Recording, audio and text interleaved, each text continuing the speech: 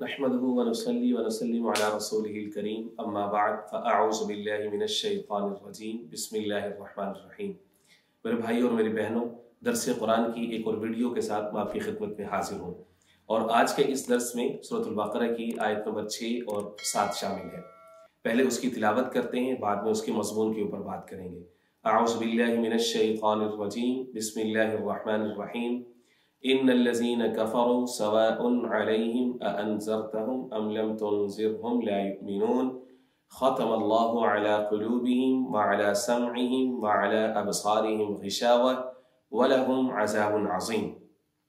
ये जो सूरतुल बकरा है, इसकी जो इब्तदा है वो बड़ी दिलचस्प है। सूरतुल बकरा की इब्तदा में तीन तरह के इंसानों का तस्करा है। या इंसानों को तीन अकसाम में तकसीम किया गया है। पहले हैं खालिस मोमिन, जो किताब हिदायत पर ईमान रखते हैं। और आका करीम सलाम की नबूत और रसालत पर गैर मशरूत ईमान रखते हैं, जिनकी सिफात का तस्करा गुजशत दर्स की वीडियो के अंदर हो चुका है। आज के दर्स में शामिल जो आयत मुबारक आयत नंबर छः और सात, इसमें खालिस, पक्के सिक्का बंद काफिरों और मुशरकिन का तस्करा है कि जिन्होंने अल्लाह के रसूल का इनकार किया, किताबों का इनकार किया, कुरान का इनकार किया मुआजात का इनकार किया, अल्लाह ने भी फिर उनके दिलों के ऊपर मोहर लगा दी।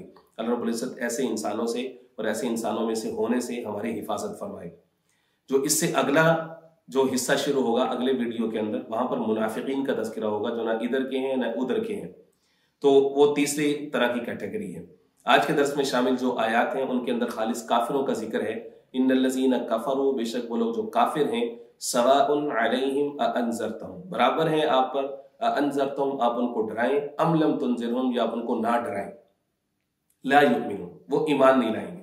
सवाल ये है कि इस अंदाज के होने के बावजूद कि आप डराएँ ना डराएँ वो ईमान नहीं लेकर के आएँगे, फिर भी दावत और तबलीग का हुक्म क्यों है?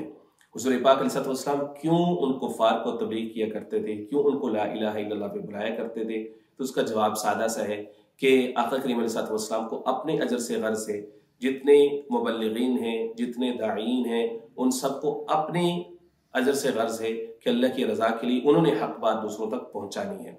चाहे वो ईमान लेकर के आए, ना लेकर के आए, हिदायत देना, ना देना, ये अल्लाह का इख्तियार है और अल्लाह का फैसला है।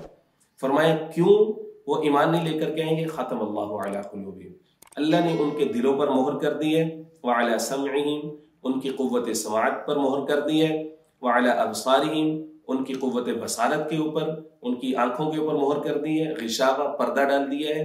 वलहम आज़ाब नाजीम और उनके लिए बहुत बड़ा अजाब है। तो गोया के अल्लाह ने उनकी फैकल्टीज को, हक बात को कबूल करने से ब्लॉक कर दिया है।